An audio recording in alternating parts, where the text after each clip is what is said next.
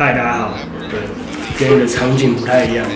因为我现在人在 Mixed 的他们公司，然后他们邀请我来拍摄这个 Uniqlo 跟 CAS 最新的联名，然后这算是一个短短的 vlog 啊，因为我主要是想要跟大家分享一下这一次哦，这个 Uniqlo 跟 CAS 最新的联名。我等下就会先跟他们拍摄，然后拍摄完之后就跟你们稍微分享几个我觉得这次联名的重点，然后以及你们可以优先抢什么东西，还有大家最 care 的是版型跟尺寸的问题。好，那我就先跟他们录影，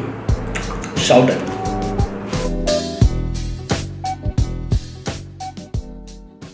好，那刚刚跟他们拍完了小开箱，哦，第一次乱录别人的节目，小害羞，小害羞，一整桌满满的 CAS。而且我竟然可以在发售前先看到，真的是蛮兴奋的。然后再慢慢的跟大家稍微看一下有哪一些款式。首先是我身上这一件哦，湖水绿，然后蓝色的 BFF，然后还有这一件粉红色的有 Companion，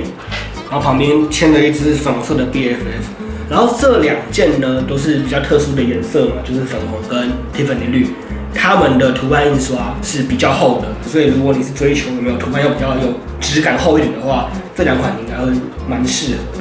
然后再来就是别的主题的话，就有这个啊，Companion 抱着 BFF 的，然后还有这个 BFF 抱着 Companion 的哦，刚好倒过来，猪窝雕像的图案，三个 Companion，以及这个最经典最经典的就是。半博系列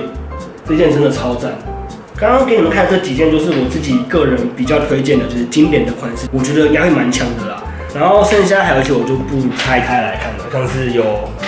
呃这一件就是口袋的 T 恤，然后就是口袋这边有这个图案，然后还有这个 CAS，对，这个也算是比较厚的印刷。然后还有一些其他款式，我自己就。比较不是我自己的风格啦，然后童装的话基本上都差不多，对，这个是童装，蛮 Q 的，蛮 Q 的。那还有个重点就是他们这一次唯一一个配件，托特包哦，托特包，应该看到图案吧？它的托特包这一次上面竟然还有，这边有刺绣，对，它的托特包上面有刺绣，然后有点麻布材质的 Companion，一样，这边也有一个小的刺绣。里面有一个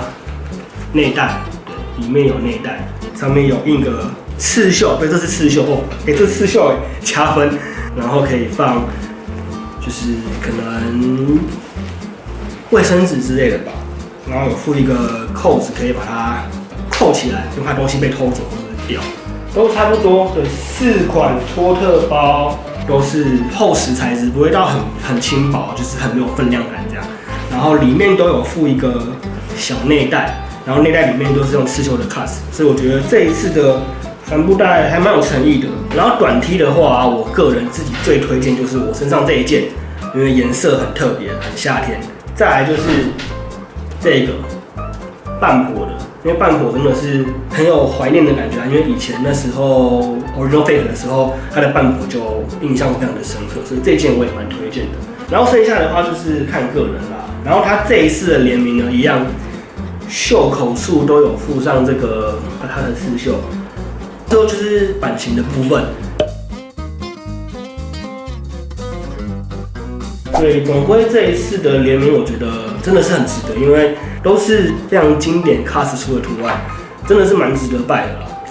对，然后对，今天就这样短短的抢先分享一下这一次的联名系列，记得版型偏小。所以如果你想要穿宽松的话，尽量拿大一到两个尺寸，我觉得会比较有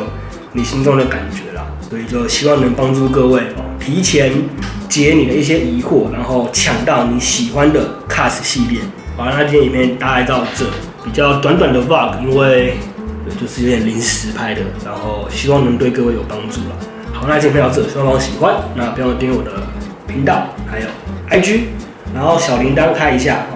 看一下才能第一时间看到我的影片。那今天就这样，我是 Kevin，我们下次见。